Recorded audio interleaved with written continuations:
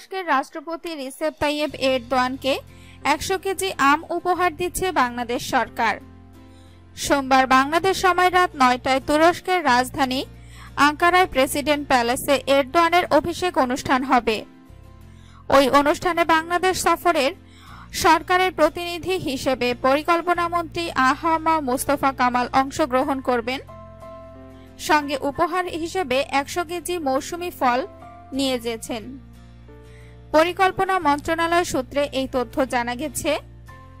তুরস্কের আঙ্কারায় প্রেসিডেন্ট প্যালেসে তুরস্কের পুনর্নির্বাচিত রাষ্ট্রপতি রিসেপ তাইয়েব এরদোয়ান এর অভিষেক অনুষ্ঠান হবে। ওই অনুষ্ঠানে বাংলাদেশ সরকারের পরিকল্পনা মন্ত্রী আহা ম মুস্তফা কামাল বাংলাদেশের প্রতিনিধিত্ব করবেন। প্রধানমন্ত্রী শেখ হাসিনার তরফ থেকে পরিকল্পনা মন্ত্রী তুরস্কের রাষ্ট্রপতির জন্য উপহার হিসেবে বাংলাদেশের মৌসুমি ফল একশো কেজি আম নিয়েছেন।